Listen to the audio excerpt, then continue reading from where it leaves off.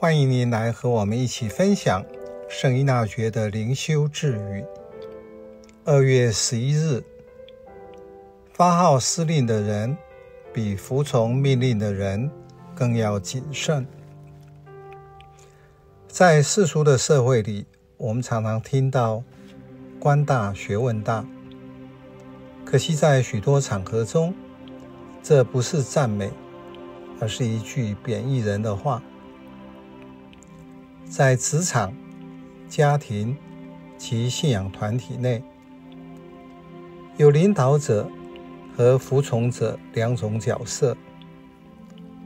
您是否同时在扮演上述的两个角色，或是长期以来一直都在扮演同一个角色？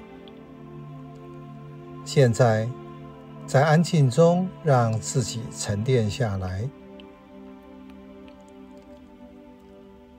回顾一下自己的角色，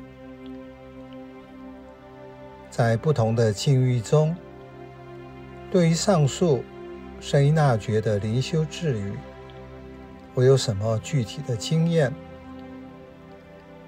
当我是领导者，在要求、命令或指挥他人时，我的口气、语言。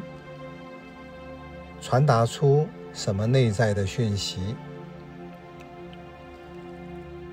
过去传统的宗教信仰中，上位者对属下会要求绝对的服从，因为发号施令者自认是掌上，权力来自天上的那一位，或是在架构所拥有的。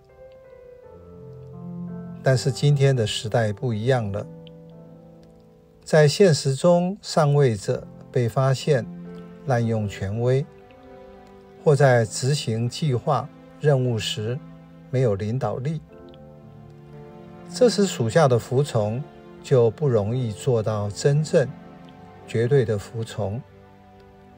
听命者就会看掌上的表现，在决定要不要服从。或是怎样服从？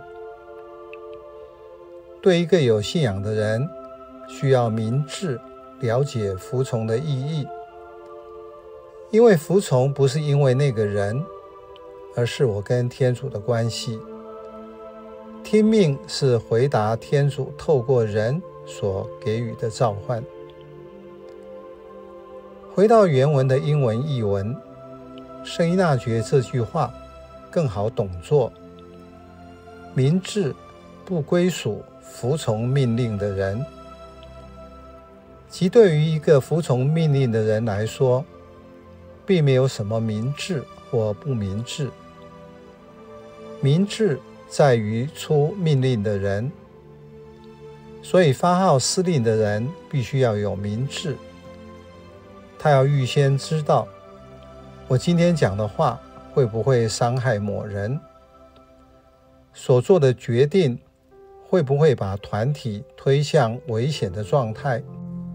在上位者下服从命令的时候，要谨慎，要慎重考虑为这个人及团体更大的好处是什么。